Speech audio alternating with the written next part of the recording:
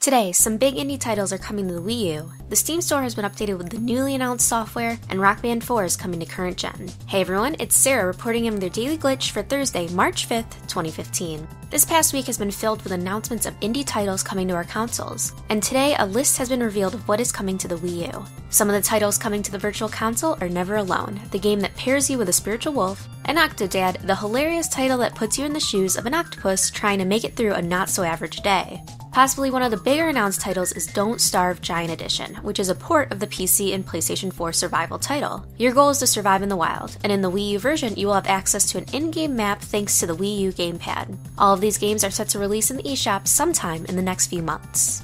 After the GDC announcements on the upcoming Steam Machine, Link, and controllers, you may have noticed an update in the non gaming software side of the Steam store.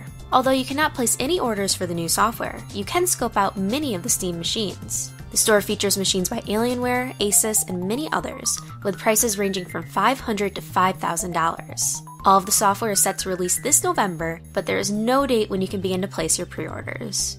After quite a bit of rumors and heavy hinting, Harmonix has finally announced that they are reviving their Rock Band franchise. By the end of the year, PlayStation 4 and Xbox One users will be able to pick up Rock Band 4, but the details for how previous content and peripherals is still up in the air.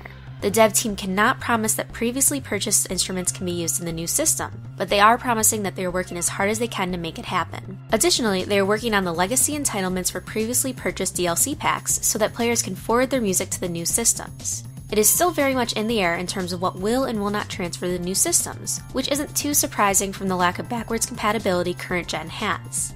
As of right now, we know that the title is coming in 2015 and that it will be the only Rock Band title to release on current gen. That's all for today, but you can let us know what you think in the comments below. Follow us on Twitter at GlitchFeed and check out our weekly GlitchFeed podcast on iTunes and right here on YouTube.